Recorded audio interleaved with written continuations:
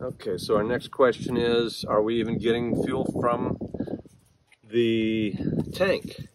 Well, we know we are because if we open one of these lines up and turn the key on, it's going to squirt. I don't really want to make all that mess right now.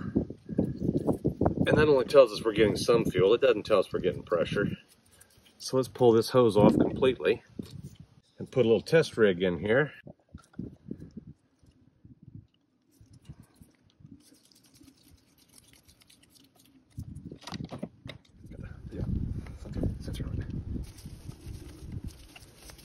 All right, so yeah, we've made this hose kind of ridiculously long here, but we've added a pressure sensor, pressure gauge in the line.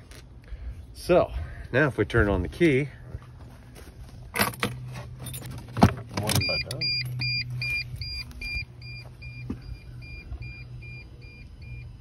um,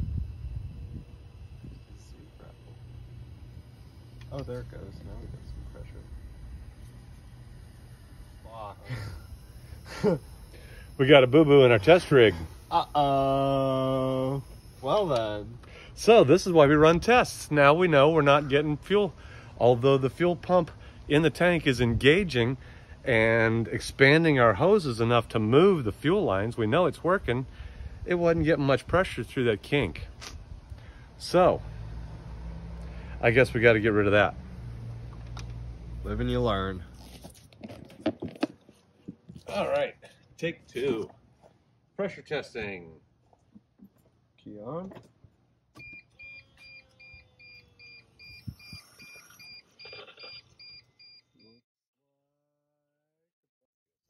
Yeah. Now I wonder if the engine will start. Now that it can get a little fuel. I doubt it.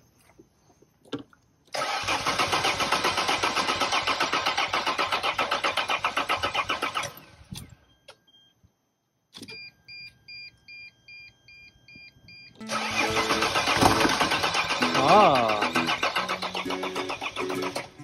What was that, Mr. Mike?